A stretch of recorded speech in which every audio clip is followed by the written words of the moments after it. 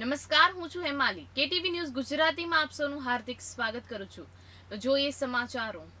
સુરેન્દ્રનગરમાં ચૂડાના છલાડા બલાડા વચ્ચે આવેલ કોઝવેનું નાડું તૂટતા રસ્તાની અવરજવર થઈ બંધ. સુરેન્દ્રનગરમાં ચૂડાના છલાડા બલાડા વચ્ચે આવેલ કોઝવેનું નાડું તૂટતા રસ્તામાં અવરજવર બંધ થઈ ગઈ હતી.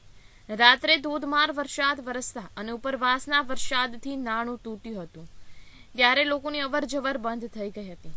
આ બંને ગામ વચ્ચે એક જ રસ્તો હોવાથી બસ પણ ફસાય હોવાના સમાચાર મળતા.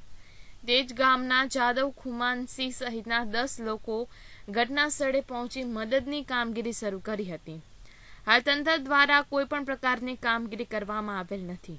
ગામના લોકોએ ભેગા થઈ કોઈ અનિચ્છનીય ઘટના ન ઘટે એ માટે ઘટના સ્થળે ખડે પગે રહ્યા હતા.